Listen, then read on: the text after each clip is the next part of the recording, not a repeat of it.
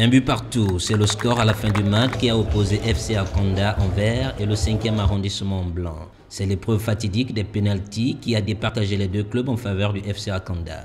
Ils ont reçu des médailles tour à tour du délégué national de l'UJPDG, Vivien Peya, et du professeur Daniel Onaondo.